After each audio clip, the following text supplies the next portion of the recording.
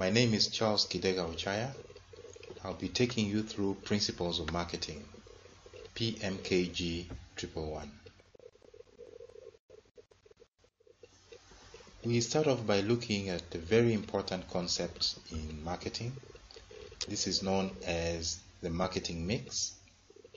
Uh, also, sometimes we'll describe it as the four P's of marketing. Essentially, it's about product, price, place, and promotion. Most of the marketing that happens in the world will revolve around these four uh, elements. In addition to product product marketing, you also have services marketing.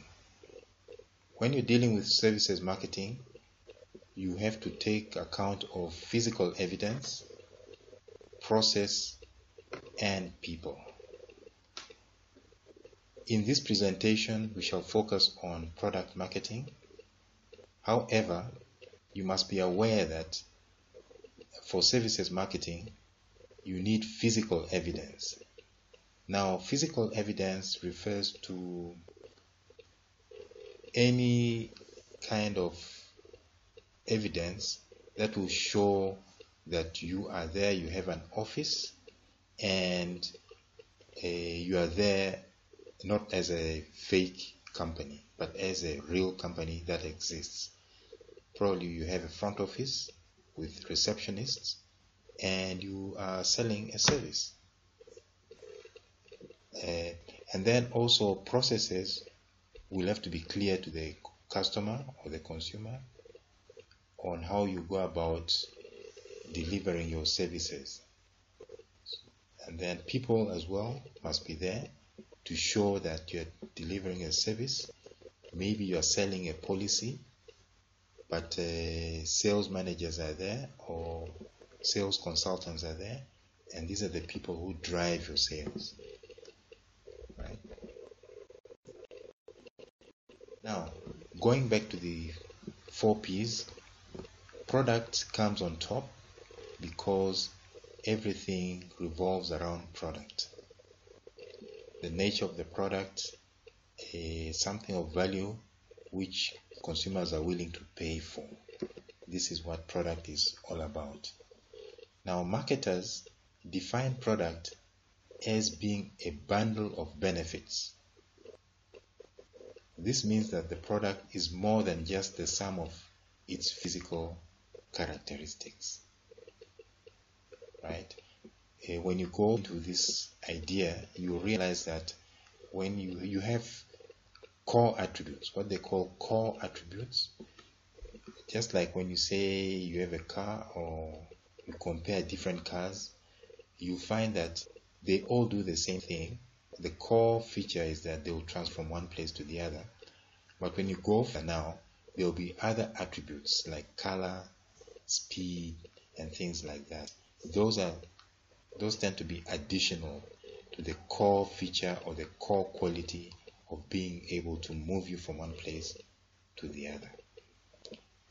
Okay, so marketers define products and they also look at uh, the physical attributes, attributes, some other qualities which are very important.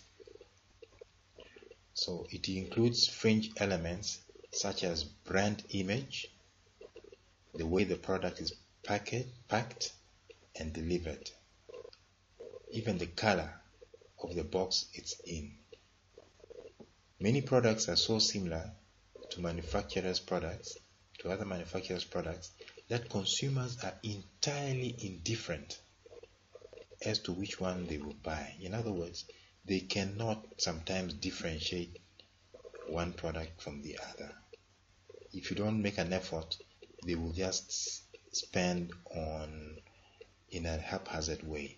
But now, being a marketer, you want to channel your customers, you want people to come and buy your products, right? That is why, if you look at a a product like petroleum, you have different companies that sell petroleum. Uh, you have Shell, you have Puma, you have BP, and so on. There's so many. But the essential commodity there is petroleum. They all work the same way at the end of the day. When you're dealing with product, you will also be discussing product positioning. Now, product positioning is about establishing the product in the consumer's perceptual map in a position relative to other products. We looked at this idea of perceptual map some time back where we drew a cross and we had different segments, different quadrants where we'd be placing the products.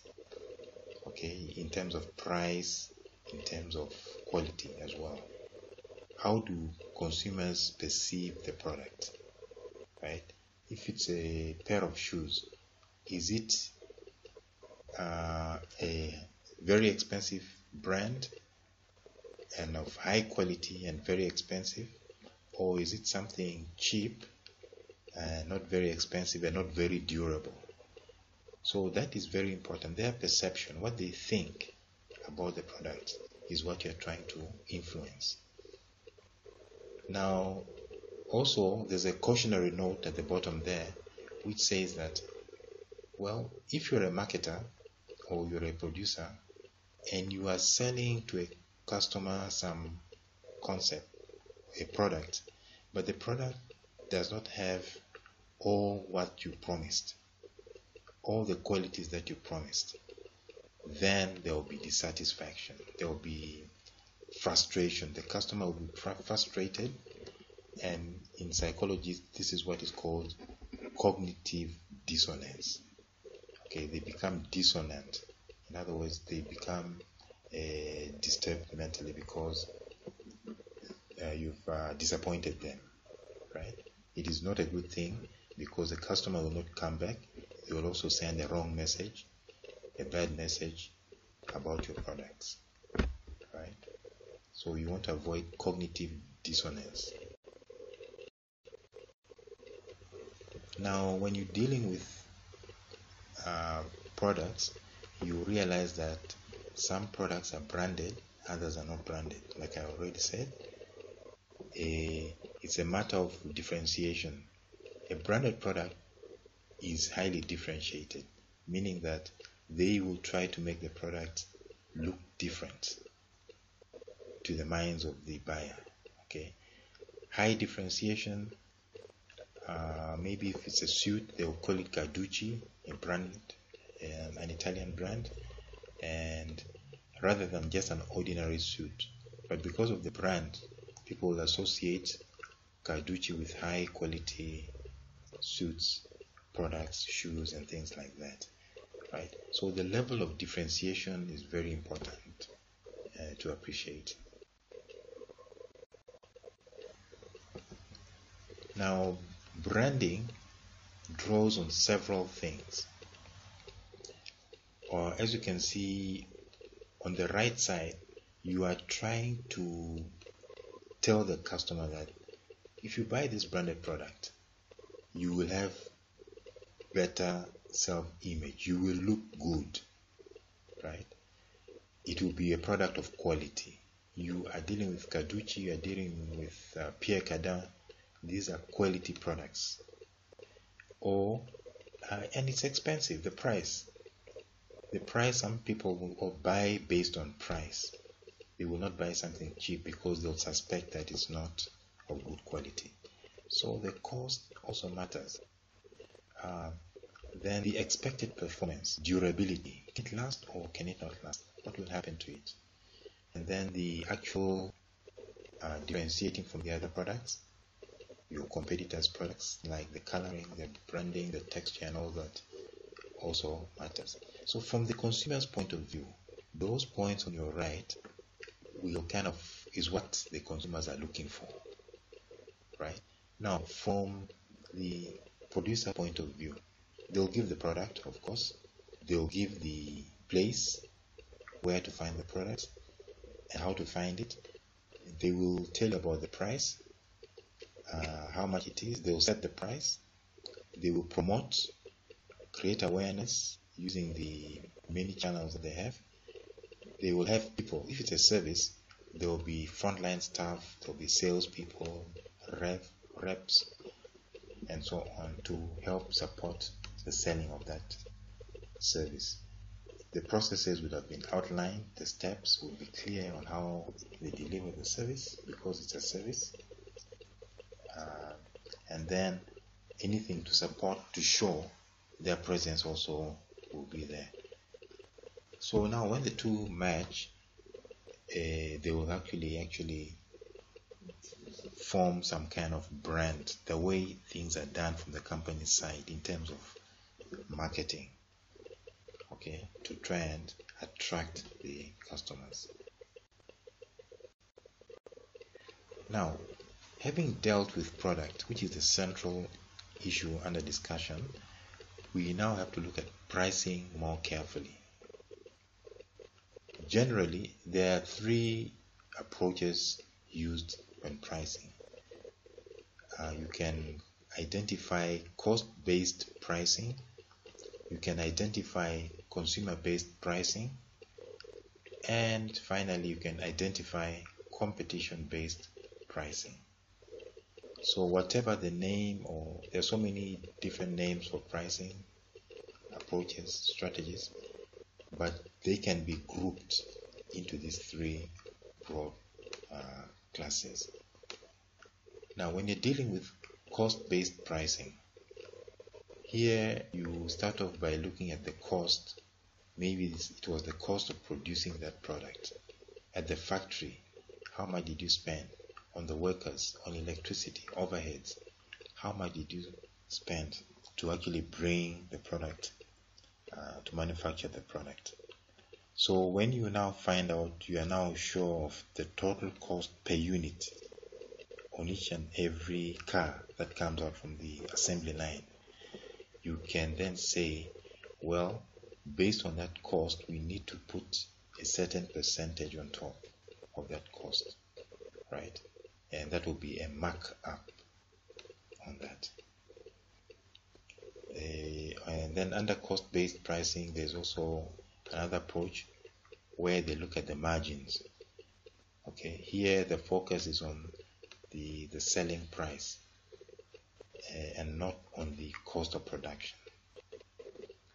Uh, the other approach uh, is called consumer-based pricing right? You focus on the consumer's needs. You want them to keep on buying, uh, and then you you set your price accordingly by gauging the reaction from the consumers. One of them is known as customary pricing. Uh, here, the idea is to try and keep the custom, to try and keep the tradition. If you've always, always charged, say, 100 pula for a certain product. So be it. It will continue to be 100. Uh, then you will try to, by all means, minimize all the other costs involved with supplying that product. There is an example that is given of, say, those old telephone booths or the kiosks where the coin slot would always be the same the coin slot would always be the same. They wouldn't modify it. If it was uh, a pull one pula, it will always be one pula. But then the cost of delivering the service would try to be they would try to lower that. There's also another pricing, consumer-based pricing, which looks at skimming. It's called skimming. It's where the prices start off very high or high, but then they are lowered gradually over, time. You are skimming, and depending on the product where it is in the life cycle, in its life cycle, you will then do skimming accordingly. For example, if the product has just been introduced into the market, you will probably start off with a high price because not everyone has that product, and then gradually over time, you begin to lower prices as more and more people have the product now and then the market is becoming more saturated So skimming can be used at entry level. You also have competition based. Here the pricing tries to look at the competition. What are your competitors doing? How are they pricing? Uh, one example is that of uh, penetration pricing. Here you want to gain a market share to have a foothold in that market, right? You're selling a commodity, you're an entrant into the market, you cannot afford to put very high prices. So to gain access, you need to lower, keep lower prices. This is what you're calling penetration pricing. You want to penetrate the market. There is also predatory pricing. This one is a, a kind of a strategic approach to marketing or pricing whereby you want to outperform your competitors to drive the to drive them out of the market. If you can do that persistently for a very long time, you'll be able to drive your competitors out of the market. Uh, under World Trade Organization rules, uh, sometimes they will take countries that do this to task, whereby if you try to undercut or underprice in other destinations, uh, that will be you'll be sanctioned for that. Now, the other element from the marketing mix is that of place. Okay, well, place can also be a geographical location in the geographical location where your business is located, where you serve your customers from. Also, but there's also a meaning which speaks about the distribution of the product and how consumers will get access to it. Remember that consumers always want the product at the right price, at the right time, and at the right place. Okay, to keep them happy. So here now you are trying to deliver the product to the final user, the consumer, using various channels. So we shall look at that in the next. Right, these are the channels of distribution. Uh, you will notice that there are three of them here. In the first one, you can see there are so many intermediaries from the producer maybe at the factory. Okay, they do production on a large scale. They are focusing on production. Then you may then have wholesalers, those who buy in bulk, large quantities, maybe jumbo cash and carry and so on. They buy in large quantities and then they, they have a warehousing, a warehouse. They store all that. They buy in bulk. Then you have retailers. These are smaller outlets, smaller shops, which will then sell directly to the consumer.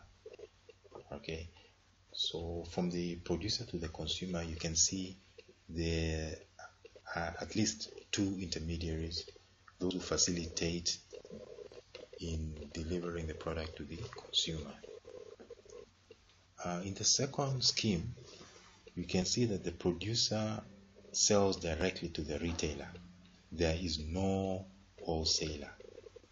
So in this case, the consumer, uh, there's a middleman that has been removed. The wholesaler is out of the picture.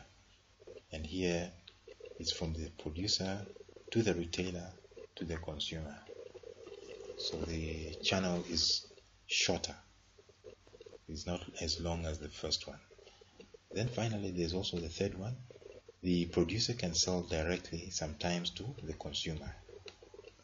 Right?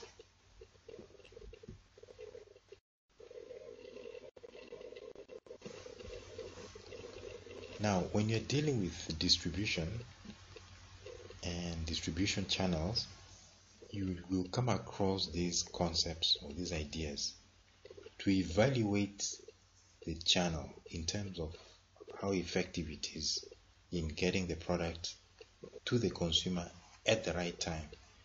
look at retail concentration, look at channel length, look at channel ex exclusivity, look at the channel quality.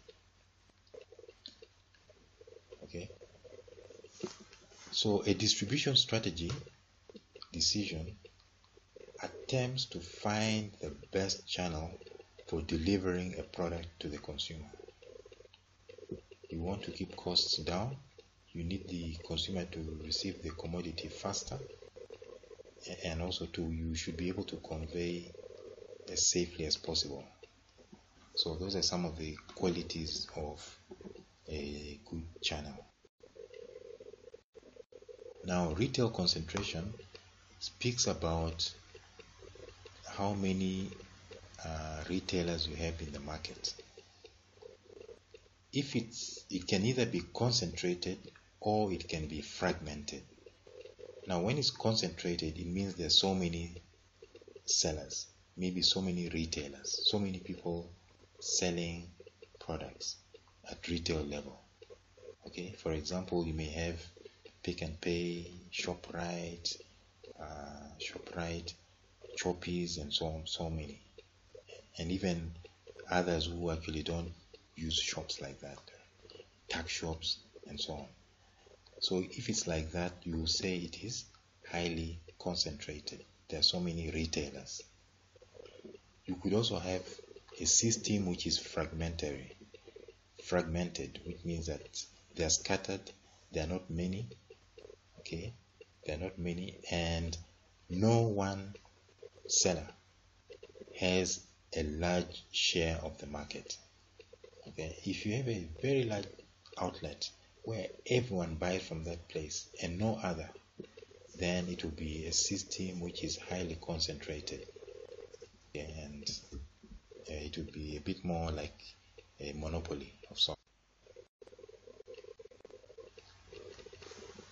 Now, channel length is about the number of intermediaries that a product has to go through before it reaches the final consumer.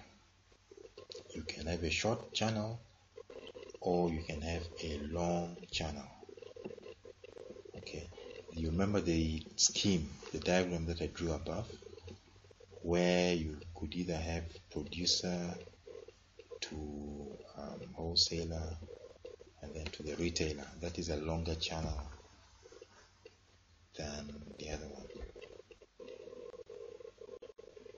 Channel exclusivity speaks about a, a situation where you have one person who only sells for another major producer. For example, if you say the only distributor for KL is Sekwana, then it means they have they have exclusive rights to distribute KBL products.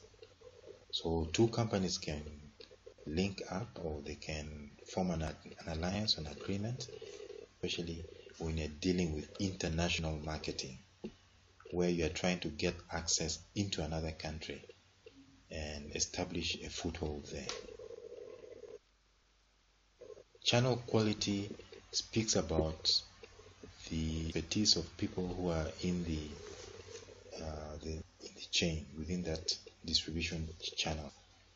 Of course, you would have retailers, you'd have wholesalers, you'd have uh, uh, those who are dealing with transportation and so on. If these people are highly competent, if they are professionals, then you are going to have to talk about it being a quality channel. So, if a producer has lots to sell, he must make sure that the channel is that of quality or else he will struggle to, to actually be operational.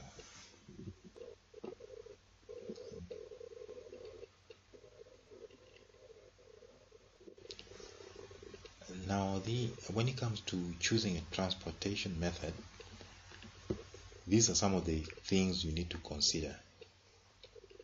Okay, for example, you need to consider the nature of the product, right? if you are distributing a product, think about it. Is it something which is perishable? Is it something that can be stored? Is it something that needs to be put in refrigerated trucks? Is it something that is fragile, like glass? How do you transport it? You know, when you're doing glazing, you can only store it in a certain way and use special trucks, modified trucks to take those uh, those glasses somewhere, right? Also, think about the methods used by the competition. Uh, what, how do they, what channels do they use? Are they using large cars, heavy trucks, or are they using motorbike, motorbikes, and so on? You have sea, you have land, and also uh, the time that they take to deliver a product also varies according to the mode of reliability. Is it 100% reliable? If you need to deliver a product somewhere that have, has to arrive regardless, then you need to have a very secure channel. It could be confidential or classified products or you know regulated and so on. Then you need secure channels. Alright. Again, that issue of security at the bottom there. High value items may not be easily distributed through retailers you can't post something through the post box which is very very sensitive.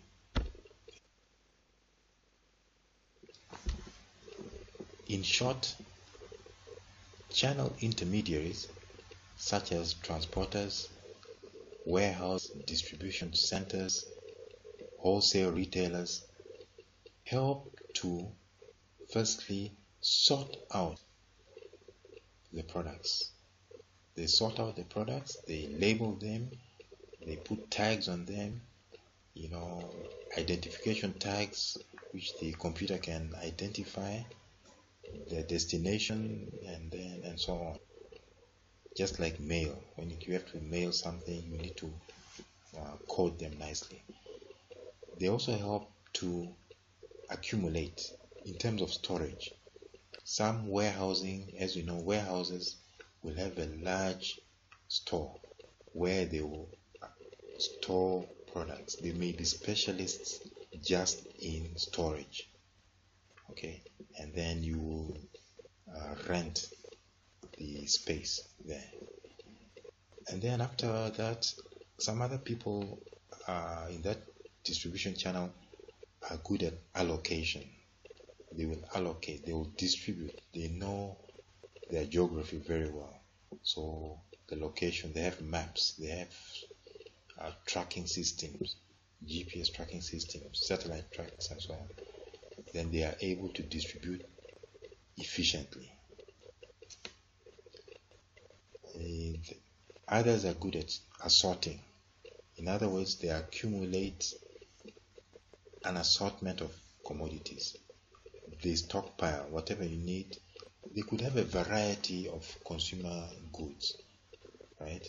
Like in stores, where you go and buy almost everything that you need will be there under one roof. So that is assorting. Now, again, coming back to the four P's, promotion is one of the important components of the mix here it's about uh, especially it's about pull and push strategy. How do you want to market your product? Is it going to be using a selling concept where you push the product to the consumer go door to door and using using your sales team you try to target as many people as possible? Or is it going to be a pull strategy where you want to create awareness, you are targeting a segment and you want people to come and buy your products. So you need to then formulate a very good strategy in order to attract customers. Uh, in all of this, when you're doing promotions, you also have to deal with communication. Now, you have to deal with the promotional mix where public relations is important, personal selling, sometimes you need to do personal selling, sales promotions, like um, KBL does promotions like that. Then advertising policy. How and where do you place your adverts? You need to think about that. Finally, the communication cycle is uh, very important. The communication that you studied in BCom 101 where you can see the barriers to communication. What is it that hinders communication? So, as a promotional expert, someone who knows about 4 P's in promotion, you must be alive to these problems. You must know that uh, if the sender does not code the message properly, if he does not write the correct message in clear language, it will be misunderstood. So the message must be spot on. The channel that is used. Are you using radio? Are you using television? Are you using uh, loudspeakers? Or is it going to be newspapers or magazines or billboards? So you must use the right channel for the right segment so that you can actually get the right, you get the customers buying from you. Then, from the receiver's point of view, the potential customer, remember that they have to decode your message, which should have been clear in the first place. They will have to decode it, meaning that they have to uh, decipher it, they'll have to unpack it and understand it for what it is. Then, thereafter, they can give you feedback. They'll tell you, they'll call you back, they'll ask you questions you know, they will ask for clarifications. This is now the feedback loop according to the communication cycle. And all the while, while the sender and the receiver are trying to communicate, remember that uh, you always have interference, what they're calling noise, right? Distractions, anything that hinders good communication between the sender and the receiver is considered to be noise. It is unwanted communication that can be sent.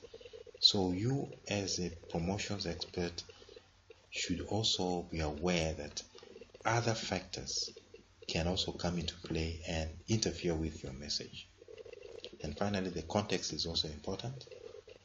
Uh, when, where, how, for whom, and so on. Uh, I give you this assignment which will be graded as well. Briefly outline and explain the extended marketing mix for services. For a product or service of your choice, show how the importance of the marketing mix elements helps to make the product successful. Thank you so much.